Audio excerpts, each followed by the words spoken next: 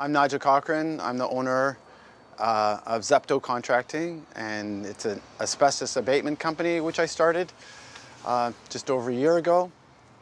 And uh, we've grown pretty fast because uh, I believe in doing everything right and taking care of my employees and uh, following all the right procedures. Specializing in drywall, stucco, flooring, the other sources of asbestos. In this particular job, it turned out that lath and plaster tested positive, which is unusual, which has made the job really difficult and complex.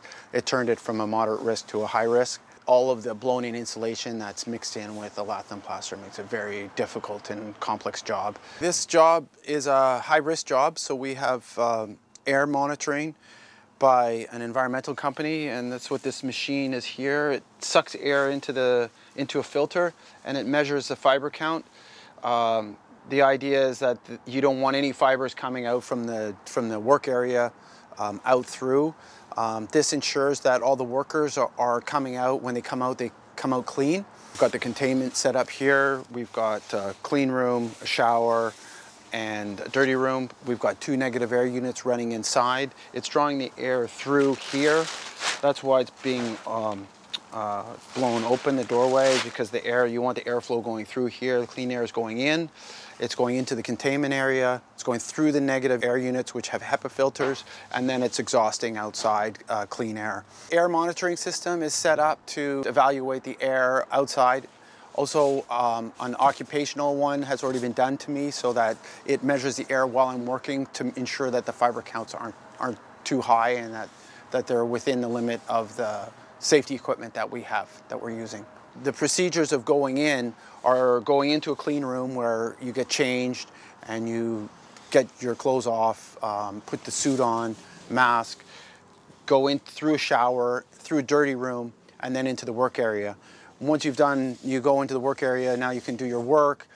And then the, on the reverse, on the way out, you come out, you take out off your suit, you throw that away as asbestos containing waste.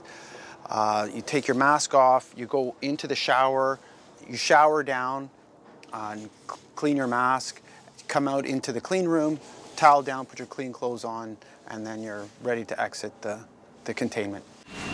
This house was built in 1911 for the workers that were, were cutting down the trees.